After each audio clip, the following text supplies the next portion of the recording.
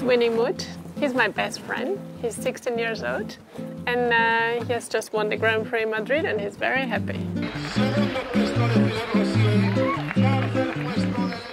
We've been together now for about eight years and um, yeah, maybe that much. So he knows everything about me and I know everything about him.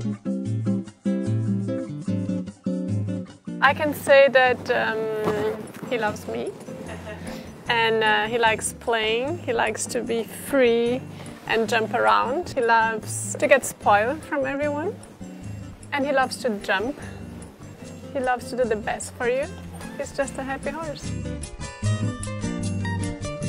I guess he loves his carrots and that's his favorite food. He also likes banana, but not like Fiti. He loves more carrots.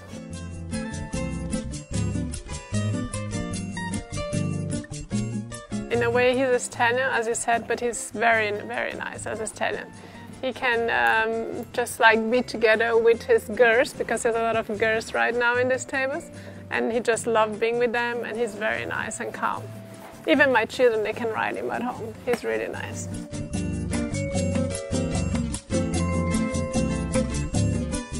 I always say, but it's, it's a pity you don't know, but there's a Brazilian singer called Roberto Carlos, and I say that he's like Roberto Carlos. He's, he make a song called I Am the Guy. So I say that Winnie, he's this guy, you know, I am the guy. So I would say he's like him.